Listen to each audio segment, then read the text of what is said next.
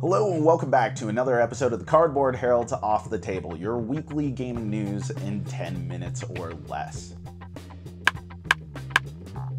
So, if you're joining us for news that isn't just announcements because we got some announcements, then you may know that we're in a bit of a slump. We're between Origins and Gen Con, so we're probably not going to be getting a lot of moving and shuffling these days. But we do have one big news item, and it's fitting that it's convention related, and that's that Dice Tower has announced that they are rebranding Dice Tower Con, the original one in Florida, to Dice Tower East, and they are taking back ownership and responsibility of the convention because apparently it was being managed by another group that was unaffiliated with Dice Tower, utilizing the Dice Tower name with support of the Dice Tower. But apparently they didn't have the the the minute management of the convention, which is what they want to have at this point.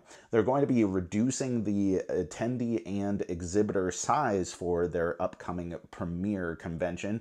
Now, I would of course love to go to Dice Tower East, but is it going to have the same player focus and smooth management that they have had at the convention up until this point? Because it has been stellar. And what about the convention that this group is now planning on having in the future? Is there going to be a level of competition between the two conventions, or will they be able to sustain independent of one another? There are more and more gamers every year, and Florida is by no means a small state, so I'm hoping that they both can exist in parallel and gamers can enjoy all of that gaming in Florida and elsewhere. Come up here to Alaska. We got Platypus Con. That's going to do it for our news today. So we're going on over to announcements. Our first announcement is that there's a new edition of the Quest for El Dorado coming out, the Knizia deck building modern classic. And this is not the expansion standalone game that I talked about previously.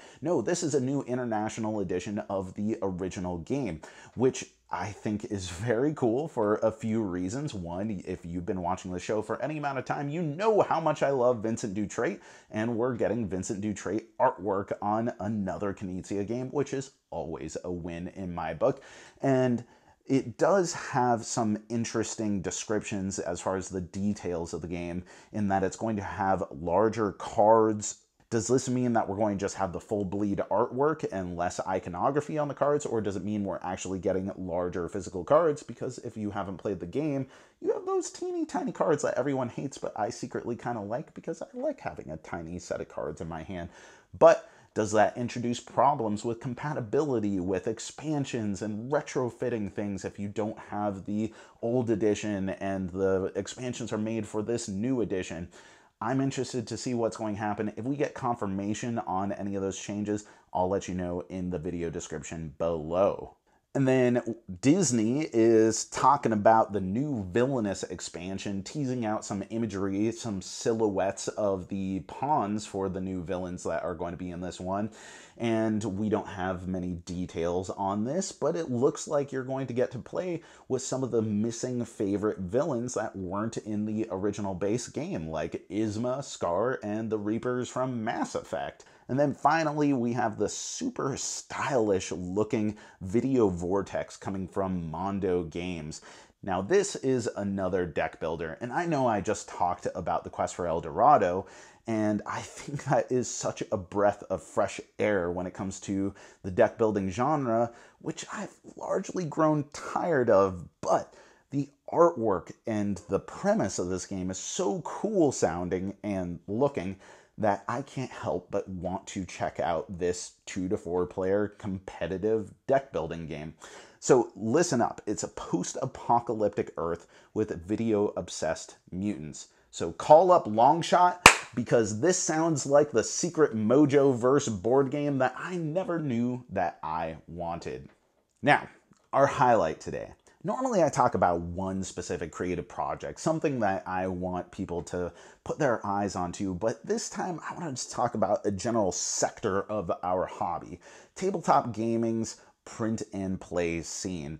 Now, many gamers may not realize just how many games and how many creators are, are represented in the print and play scene and the uh, sheer amount of competitions and the the importance in developing your skills as a game designer and participating in this scene. Now, this is coming out of a recent interview that I did with Mark Tuck, who's a print and play designer. He recently won a contest with a dexterity game, which eventually became Squirrelin' Around, which is on Kickstarter and how I originally sourced the interview with him.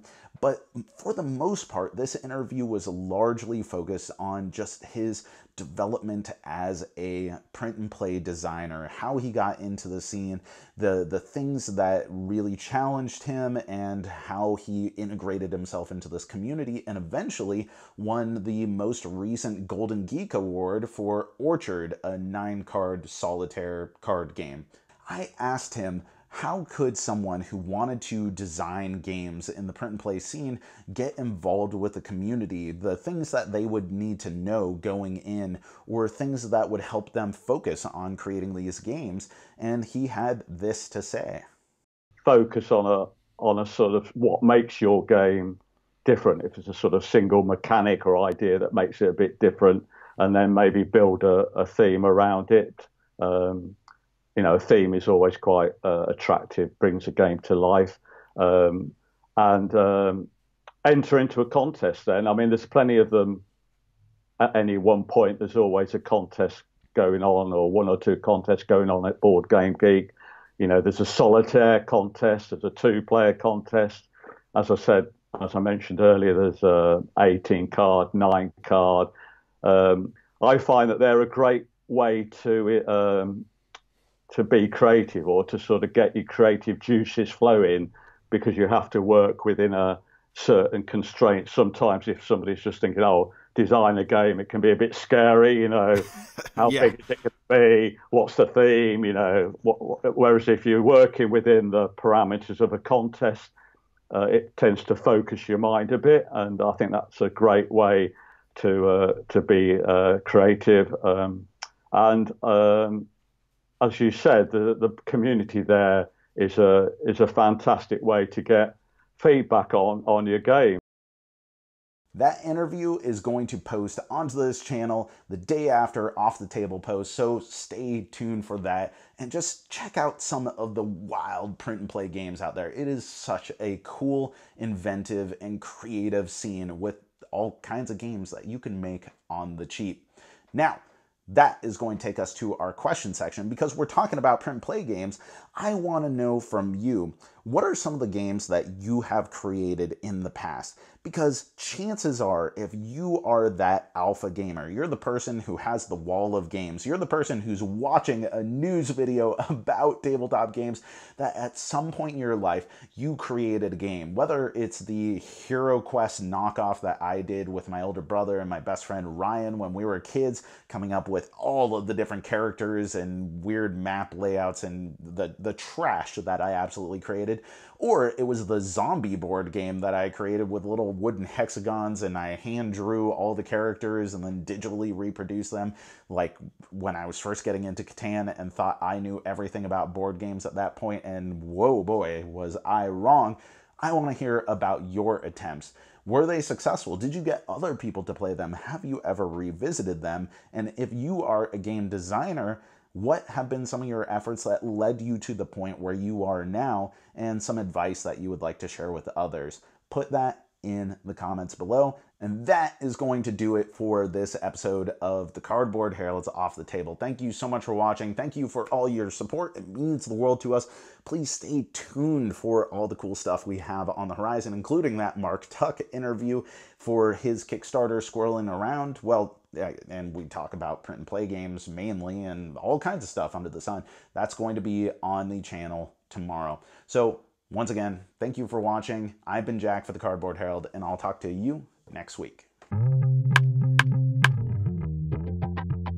If you enjoyed this video, we have all kinds of other reviews, interviews, and recommendations via writing, podcast, and video here on our channel and website cardboardherald.com. Our content is audience supported, so if you want to show your support, please visit our Patreon. Thank you so much for watching. This has been the Cardboard Herald.